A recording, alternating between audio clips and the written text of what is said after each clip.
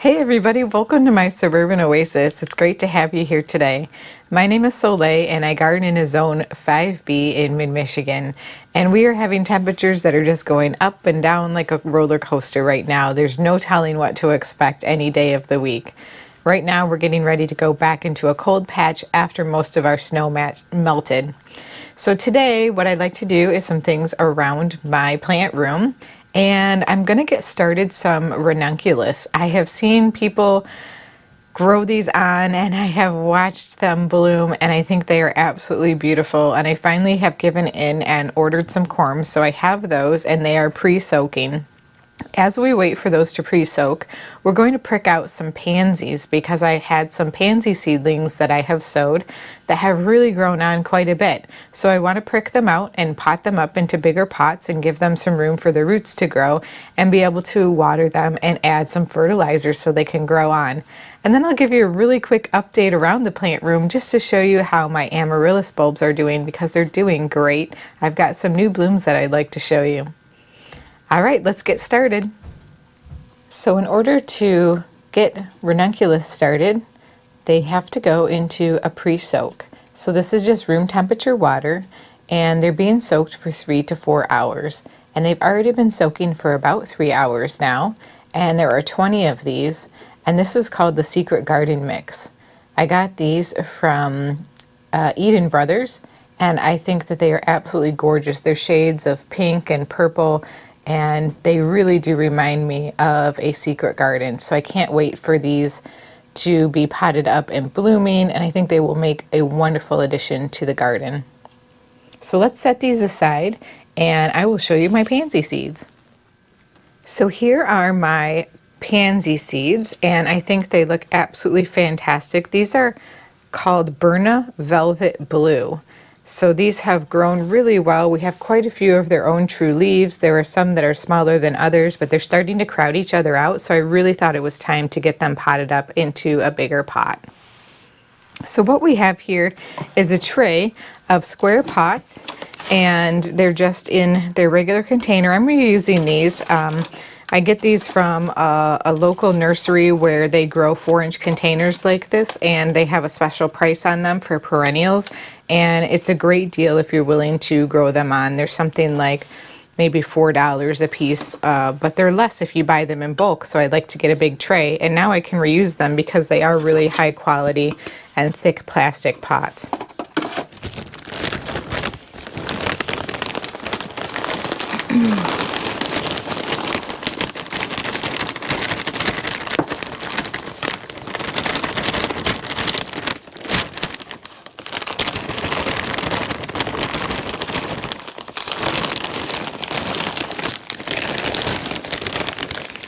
So here we have just some regular Miracle-Gro potting mix and what I'm going to do is just pre-moisten it a little bit, not as much as I normally would for potting up actual seeds. There we go.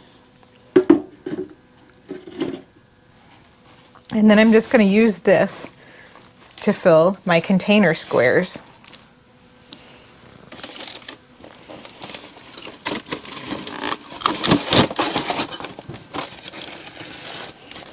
What I'm going to do is probably put about four of these pansies into each one of these square pots.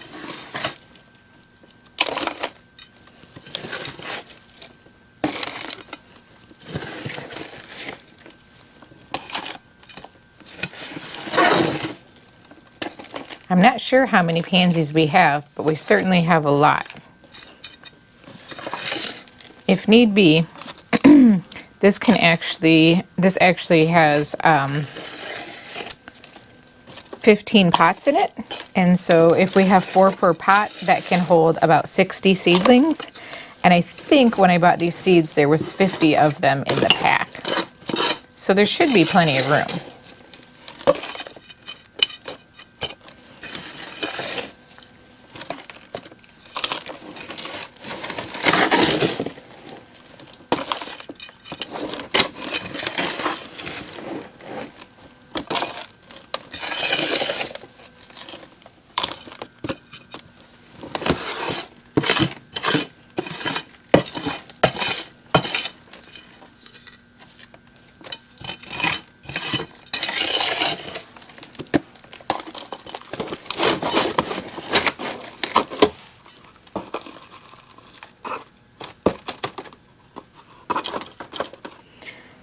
Out can be a fairly delicate process, but it doesn't have to be too hard.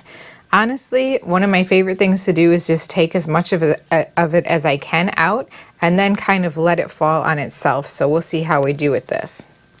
It is very moist because I've been gone uh, for several days from the house and I didn't want these to dry out while I was gone. So we'll see how this comes out. Not bad. I see lots and lots of seedlings in here. So exciting. Okay.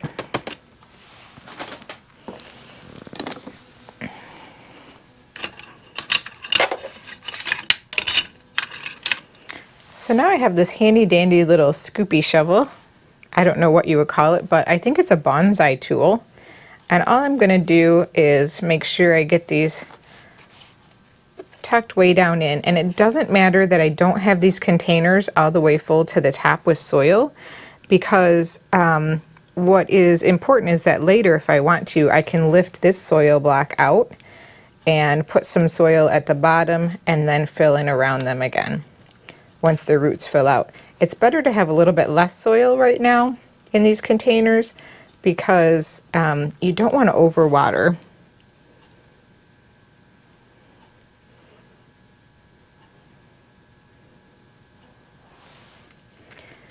Be gentle with your seedlings. You don't want to break a stem because if you do, it will not live. Once you've done the pricking out process a few times though, you'll learn just how easy it is.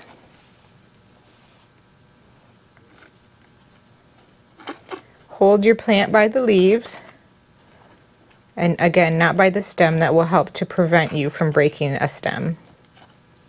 And you just want to make sure to get the roots all the way down in there. You can see we have some very very small seedlings and I may not even pot those up.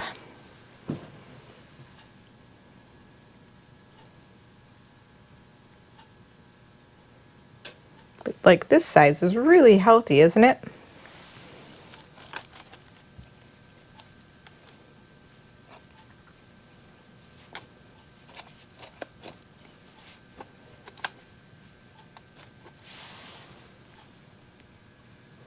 And you just want to gently tease these apart so that you don't break the roots either.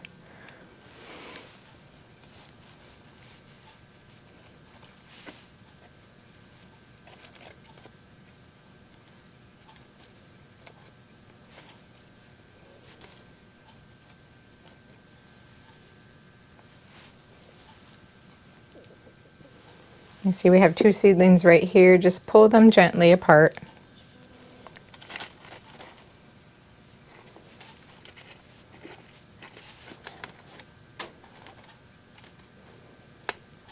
Firm the soil down gently around the roots. You want to make sure that there's plenty of contact going on there and not any air pockets. Watering in always helps with that process as well.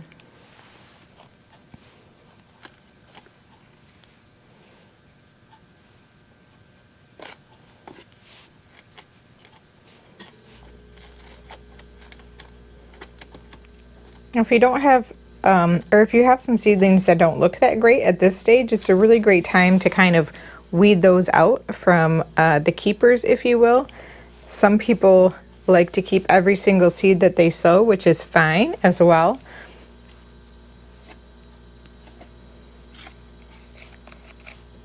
Sometimes I feel like that too.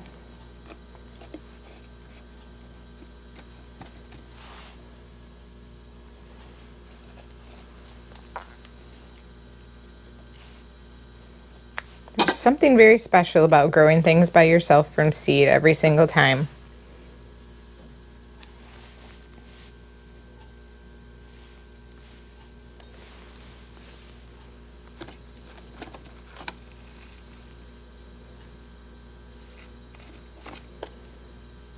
Now that these have um, one, at least one set of true leaves, most of them have two or three sets of full leaves.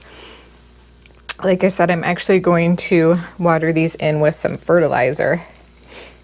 And it's good to kind of dilute the fertilizer the first time that you use it.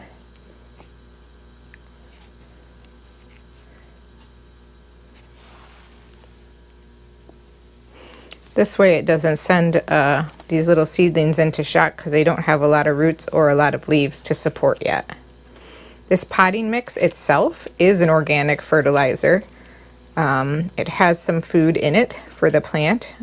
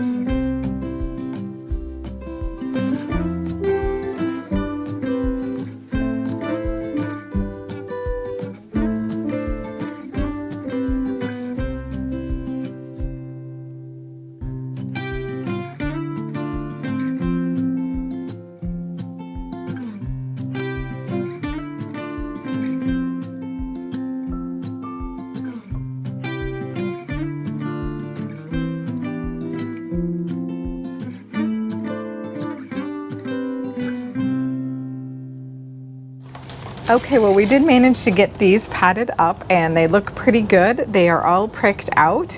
And what I'm gonna do now is just give them a little bit more water and like I said, a teeny bit of fertilizer.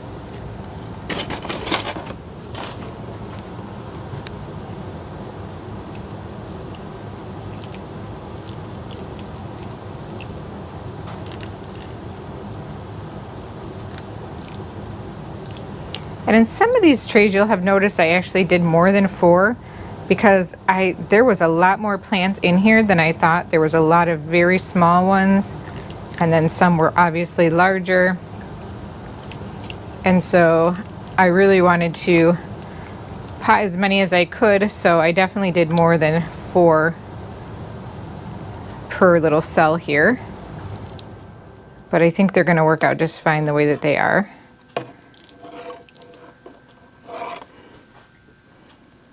Just want to get the soil settled around them.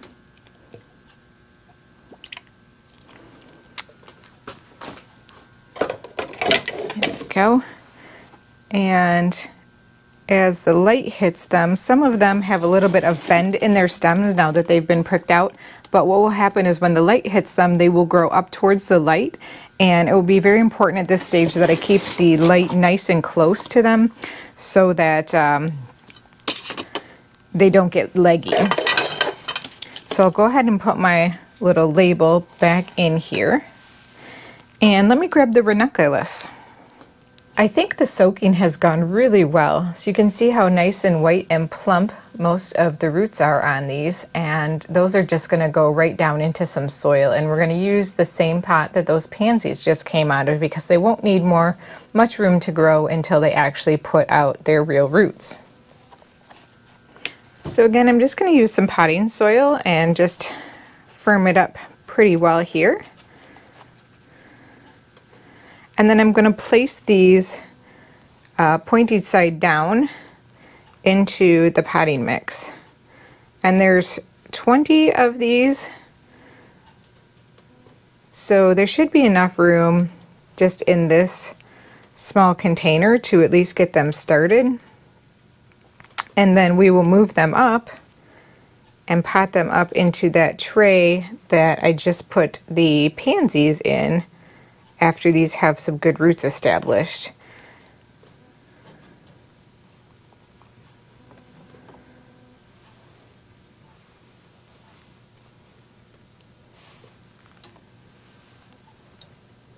Might not have enough room in one of these.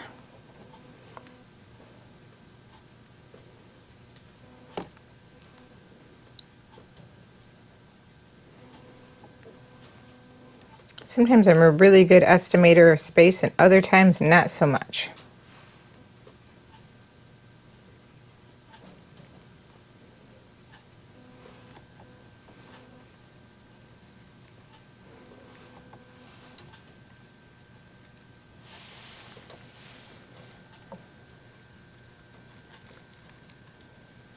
It's going to be real close.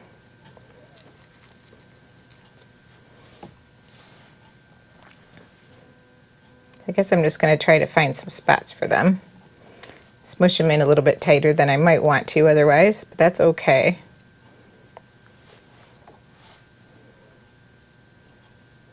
Yeah, that fits just fine, at least for me.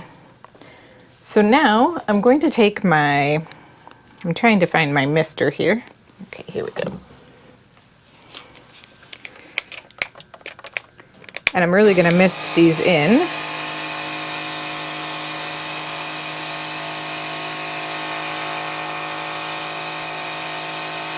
Then I'll put a light layer of soil over the top of this and mist again.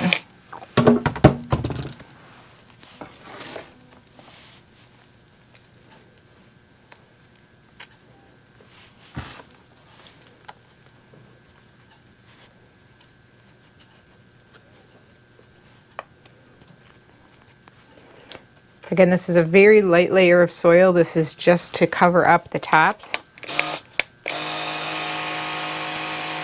And as we mist this down, it will help the soil to kind of push down around those. And we don't want it too wet because we do not want them to rot out, but we certainly do not want them to become dry again because then they will not root like we want them to. So I think this looks great. And I'm just going to put this on my tray. But first I need to make a label. So these are the Secret Garden Mix Ranunculus. And I will not be putting a humidity dome or anything like that over these. I'm just going to set them into their tray to empty my water from the ranunculus soaking and then I'll show you uh, the plants. So we'll start really quick over here. I just want to show you how many other seedlings I have of the violas that I have growing. And then I did not show you when I sowed the geraniums, but I do have some geraniums growing back here, some Maverick Pink and some Maverick Violet. So excited about those. They're starting to get their true leaves. So soon those will need some fertilizer as well. And just as an update, here's what my cannas are currently looking like. They are looking great. I'm really excited about the growth on those. And then this is my pea plant that was just from some seeds my son planted. And here's a pea actually growing on it indoors. Isn't that cute? And then if we go down here to the bottom shelf and peek behind the cannas, I had a disappointing turnout from the Potomac Snapdragons so far. Really not happy with them um, and their germination rate for me. I don't know why they did this. I've never had a problem with Snapdragons before, but maybe they'll do better in the winter sowing. I did put them out on the deck in a winter sowing kit, so hopefully they'll do better that way. And then let's take a quick look over here at my amaryllis. Aren't these gorgeous? The red lion, which is this one, just finished one of its bloom stalks and I cut it off, but it has another one that is getting ready to open. And then I don't know what kind this is. This is a, a stripy one, red stripes. Isn't that pretty? It reminds me a little bit of like a candy cane or something, but it's so beautiful. And then there's another red lion down here that is getting ready to open up as well. Isn't that gorgeous? And so I've just uh, clipped a couple of stems. My pink one just finished blooming. So that one is spent, but I also thought one of the bulbs that I had down here, which I thought I had lost due to rot. I'll show you here.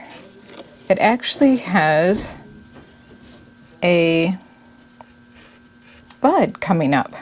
So this one looks like it's actually going to grow and flower, which is amazing.